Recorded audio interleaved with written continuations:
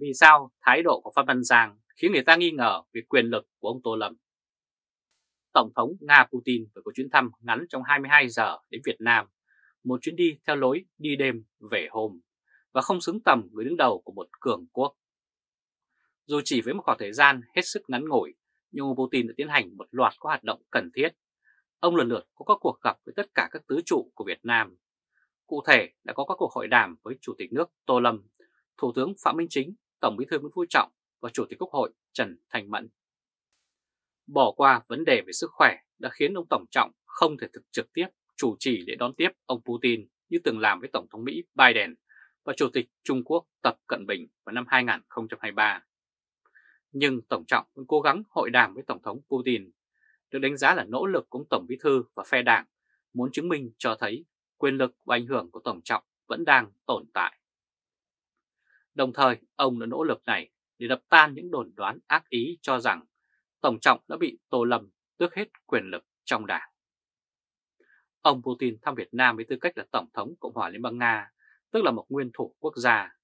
Ông đã không còn là người đứng đầu đảng nước Nga thống nhất từ năm 2012, nhưng không lý do gì để Tổng Trọng phải tham gia hội đàm.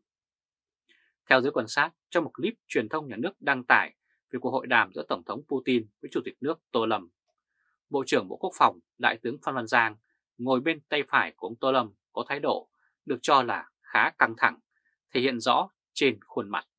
Không ít hơn 3 lần người đã thấy tướng Giang rút khăn lau tay ra lau mắt. Có ý kiến cho rằng có lẽ do nhiệt độ trong phòng họp quá nóng hay do tướng Giang thể hiện sự bất bình về quan điểm của Chủ tịch nước Tô Lâm về lĩnh vực quốc phòng, cụ thể là việc mua vũ khí của Liên bang Nga. Trước đó vào chiều ngày 19 tháng 6 tại nghị trường Quốc hội, các đại biểu Quốc hội đã nghe tờ trình báo cáo thẩm tra và thảo luận tổ về dự án luật phòng không nhân dân. Một trong những vấn đề được nhiều đại biểu quan tâm là việc sử dụng máy bay không người lái, phương tiện bay siêu nhẹ hiện nay. Bộ trưởng Bộ Quốc phòng Phan Văn Giang đã phát biểu, phương tiện chiến tranh ngày hôm nay hiện đại, ngày mai có thể đã lạc hậu, không thể theo kịp. Nếu không cẩn thận, chúng ta có thể lại mang cái lạc hậu về nhà. Tuy nhiên, giới thạo tin không loại trừ khả năng tướng Giang đã bày tỏ thái độ không chấp nhận việc Chủ tịch nước Tô Lâm là người thay thế Tổng trọng trong lễ đón Tổng thống Nga Putin. Giới phân tích quốc tế đánh giá về Chủ tịch nước Tô Lâm, theo đó trong bài bình luận tựa đề Khất sĩ Thích Minh Tuệ mang đến sự tương phản đáng hổ thẹn cho giới lãnh đạo Việt Nam. Giáo sư Abuja đánh giá về ông Tô Lâm như sau. Điều chớ trêu mà ai cũng thấy là sau tất cả cuộc thanh lọc, chấn áp, người đàn ông xuất hiện ở vị trí chiến thắng lại là người đã bị quay phim khi ăn món bít tết bò rát vàng trị giá hàng ngàn đô la tại một nhà hàng của một đầu bếp nổi tiếng ở London sau khi quan chức này đặt vòng hoa tại mộ của Karl Marx. Lẽ ra đó có thể là sự kết thúc của một sự nghiệp, nhưng với cựu Bộ trưởng Công an Tô Lâm, cách phòng thủ tốt nhất chính là chủ động tấn công, và ông ta đã hạ bệ từng đối thủ của mình một cách nhanh chóng và hiệu quả. Một sự thể hiện tham vọng cá nhân chưa từng có tiền lệ trong hệ thống vốn tự hào về sự lãnh đạo tập thể. Đánh giá của giáo sư Abuja cho thấy không có cái gọi là đồng thuận từ các tướng lĩnh Bộ Quốc phòng mà thái độ của Bộ trưởng Phan Văn Giang có thể coi là một hình mẫu đại diện. Đối với Đại tướng Lương Cường, một tay chân đắc lực của Tổng Bí Thư, thì chắc chắn không có sự đồng thuận và tôn trọng cựu Bộ trưởng Bộ Công an Tô Lâm, dù là nhỏ nhòi. Điều đó chứng tỏ luồng dư luận cho rằng ông Tô Lâm lên chức Chủ tịch nước và thâu tóm được quyền lực dựa vào sức ép từ bên ngoài. Vẫn theo giáo sư Abuja, ông Tô Lâm giờ đây là Chủ tịch nước đã chỉ làm theo lệnh của Nguyễn Phú Trọng, Tổng bí thư 80 tuổi của Đảng Cộng sản Việt Nam. Đánh giá của giáo sư Abuja Học viện Chiến tranh Quốc tế của Hoa Kỳ đã khiến cho nhiều người nghi ngờ về quyền lực của Chủ tịch nước Tô Lâm, vốn là một chùm an ninh của Việt Nam. Quý vị các bạn vừa theo dõi chương trình truyền hình trực tiếp của Thời báo chấm với bản tin Vì sao thái độ của Phan Văn Giang khiến người ta nghi ngờ quyền lực của Tô Lâm. Quý vị và các bạn hãy chia sẻ video này cho nhiều người biết và bấm nút theo dõi YouTube và Facebook của Thời báo .de để luôn được cập nhật những bản tin mới nhất, nhanh nhất và trung thực nhất. Từ Berlin, Cộng hòa Liên bang Đức chào các bạn và hẹn gặp lại các bạn ở bản tin lần tới. Trung Khoa Thời báo chấm Rộ tin Trần Hồng Hà sắp bị Tô Lâm tống vào lò, số phận Trần Cẩm Tú sẽ ra sao? Nhiều chỉ dấu cho thấy theo chỉ đạo của ông Tô Lâm, cuộc thanh trừng với phe cánh nghệ tĩnh đang được Bộ Công an khởi động. Sắp tới sẽ có rất nhiều con cá mập được tống vào lò theo đúng quy trình. Như giới thảo tin đã đưa tin khả năng cao, kẻ bị gọi tên sắp tới là Phó Thủ tướng Trần Hồng Hà, cựu Bộ trưởng Bộ Tài nguyên Môi trường.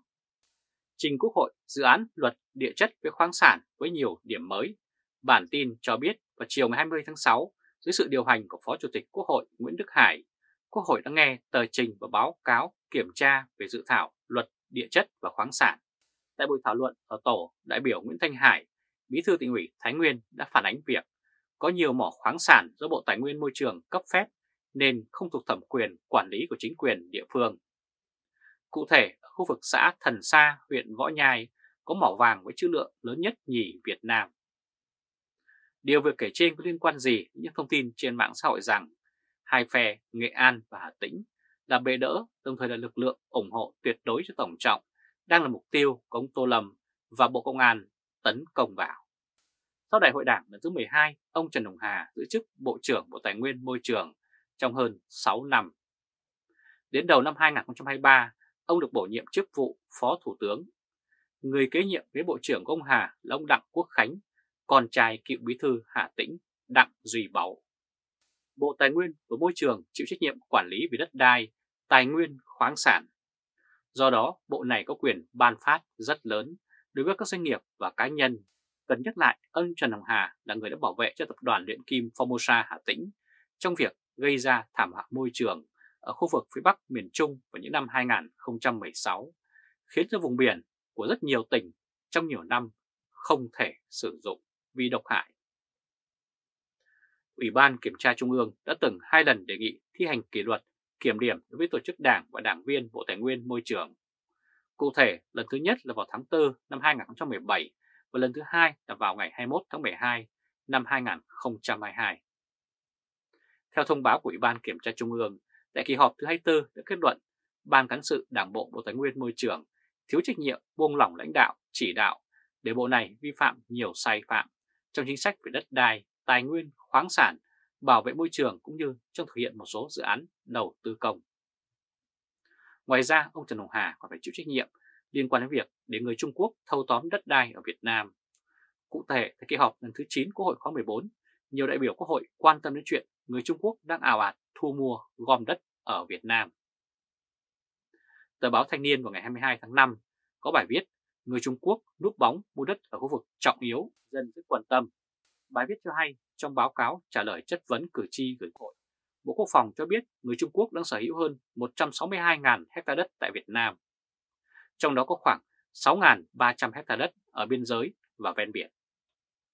Vậy mà khi trả lời chất vấn các đại biểu Quốc hội, Bộ trưởng Trần Hồng Hà vẫn nói rằng không biết và chưa thấy gì. Công luận đã câu hỏi rằng tại sao Bộ trưởng Hà, người chịu trách nhiệm chính về quản lý đất đai và tài nguyên quốc gia, lại không biết, hay giả vờ không biết về việc người Trung Quốc đang thâu tóm tài nguyên đất đai tại Việt Nam. Hơn nữa, Bộ trưởng Hà đã hai lần bị kết tội có khuyết điểm, tuy nhiên ông lại không hề bị kỷ luật mà vẫn leo lên chức Phó Thủ tướng. Theo giới thạo tin, nhóm lợi ích Hà Tĩnh và Nghệ An gọi chung là phe Nghệ Tĩnh được Tổng trọng hết sức ưu ái trong việc sắp xếp nhân sự lãnh đạo. Với số lượng ủy viên Trung ương, ủy viên Bộ Chính trị vượt trội cụ thể, sau đại hội khóa 13 có 200 ủy viên Trung ương thì Hà Tĩnh chiếm 12, Nghệ An chiếm 14. Bộ Chính trị có 18 thành viên thì Nghệ Tĩnh được 4, trong đó Nghệ An 3, Hà Tĩnh 1. Đó là chưa kể các chức vụ Bộ trưởng, các bộ béo bở, màu mỡ khác cũng được chia cho phe Nghệ Tĩnh rất nhiều. Công luận mong mỏi ông Trần Hồng Hà cũng như các quan tham khác sớm bị xử lý, đồng thời cần phải làm rõ về việc hàng loạt sai phạm của các lãnh đạo phe nghệ tĩnh, trong đó có nhiều sai phạm rất nghiêm trọng, nhưng được Tổng trọng che chắn và bảo kê nên đều thoát tội. Đã có những cáo buộc cho rằng ông Trần Cẩm Tú đã từng nhận tới 2 triệu đô la của bà Hoàng Thị Thúy Lan, cựu bí thư tỉnh ủy Vĩnh Phúc liên quan đến tập đoàn Phúc Sơn. Nhưng cho đến nay, ông Trần Cẩm Tú vẫn đang bình an, vô sự. Quý vị và các bạn vừa theo dõi chương trình truyền hình tiếp của Thời báo chấm với bản tin Dộ tin Trần Hồng Hà sắp bị Tô Lâm tống vào lò, số phận Trần Cẩm Tú sẽ ra sao? Quý vị và các bạn hãy chia sẻ video này cho nhiều người biết và bấm nút theo dõi YouTube và Facebook của Thời báo .de để luôn được cập nhật những bản tin mới nhất, nhanh nhất và trung thực nhất. Từ Berlin, Cộng hòa Liên bang Đức chào các bạn và hẹn gặp lại các bạn ở bản tin lần tới.